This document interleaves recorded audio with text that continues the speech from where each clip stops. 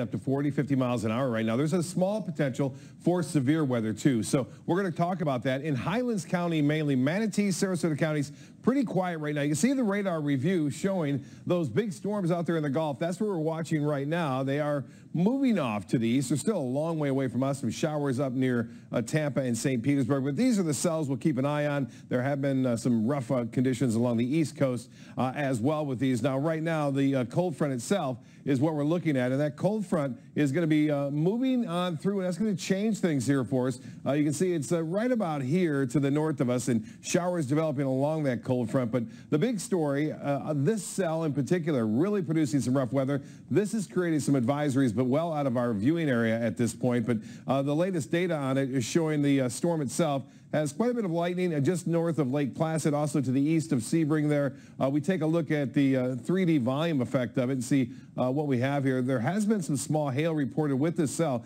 You can see it's up to 40, 45,000 feet. That area of white right there, that indicates Doppler hail inside this cell. And uh, we are showing some of that up uh, as far as that goes with the latest in terms of the, uh, the storm track. Uh, you can take a look at the storm track right now. This is a Doppler indicated hail. Uh, marble size, the impact up to three out of a scale of 10. So uh, there is some potential there for Lake Placid to get some of that. They may issue a severe thunderstorm warning with that one. But you'll notice there's not a lot going on in Manatee and Sarasota counties at this hour, and it should stay that way. This will take a couple of hours before it moves our way, and it has been weakening. So uh, we'll keep an eye on that for you. But right now, the latest uh, temperature is the big deal. Still very warm.